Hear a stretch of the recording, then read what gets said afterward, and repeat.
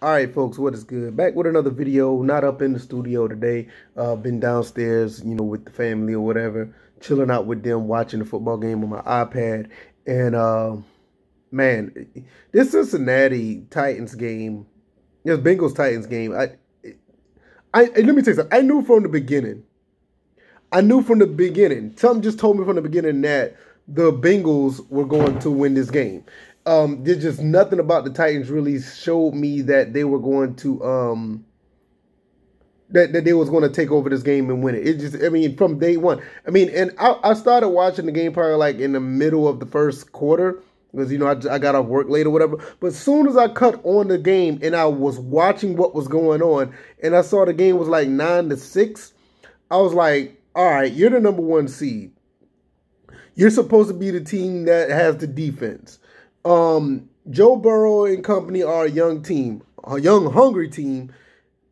Y'all should be dominating this game. For the fact that y'all didn't have um, a command a, a, commanding control of this game made me think like, all right, something something's not right here. I got a feeling that something's going to go crazy and the Titans going to lose this game.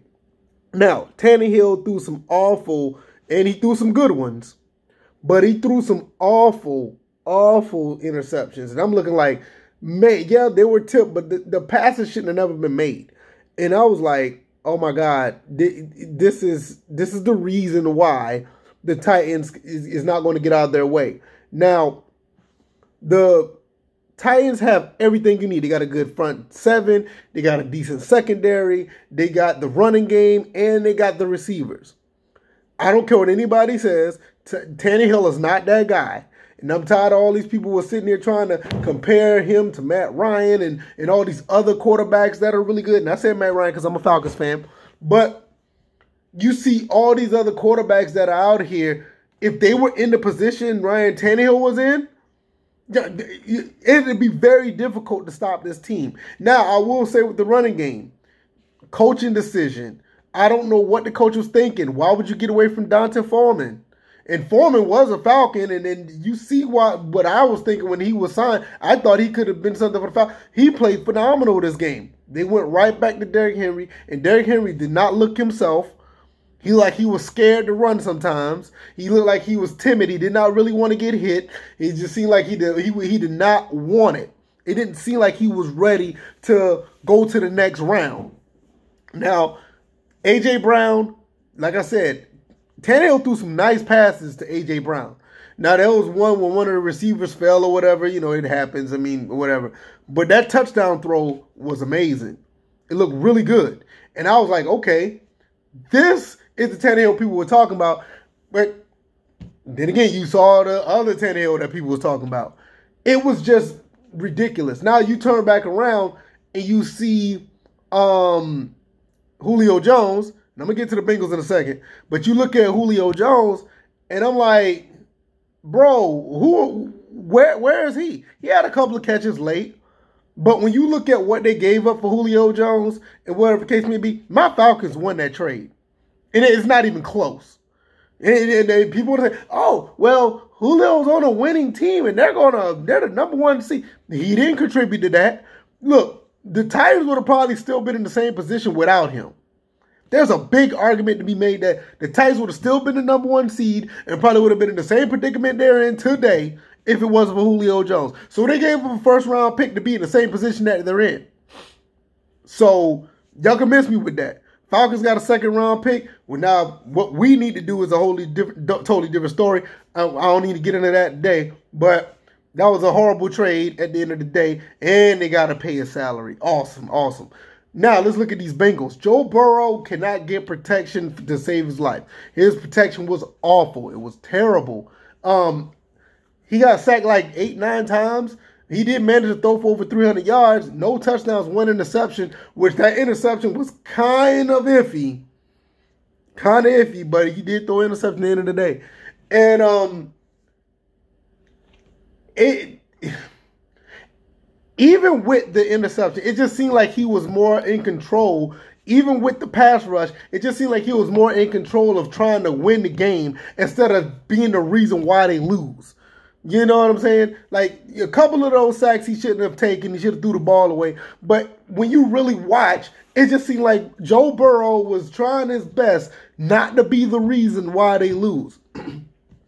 Flip side, real quick, to um, Tannehill, and I'm gonna go back to the Bengals in a second. Tannehill seemed like he wanted to be the reason why they won and failed to do so. He wanted to be the guy to say, "Oh, they won because of my arm." No, you threw interceptions because of your arm. But nevertheless, you look at the rest of the Bengals, the defense played okay. They did their best to try to stop what they could, and they got stops at the right time. Yeah, A.J. Brown got some great catches. Julio Jones had a catch here and there. Um, D'Onta Foreman ran roughshod on them.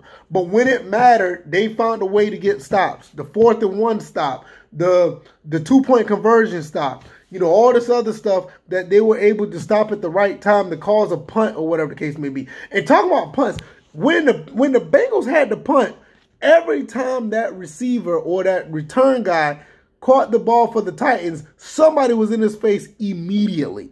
So that that made a big deal. Now, if you flip that, the Bengals got some good return yards every time they was on special teams. So when you look at everything that's happened, the Bengals did everything they could not to lose this game. You know, they and to be honest, and in some cases, they didn't even try to win the game. They just played as safe as possible so they won't be the reason why they lost this game. This is one of those situations where when you're playing not to lose actually worked. You know what I'm saying? And it's not like that's what the Bengals did. They played not to lose, and it actually worked. And this is the flip side of that. This is a situation where the Titans tried to play to win, and it didn't work. So I, that's just about two. That's my quick reaction. I guess to say it's quick. It's almost seven minutes now.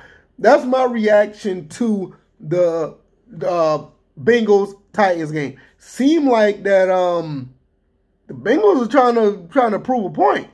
Look, I will say this really quick. If the game if the game is in Kansas City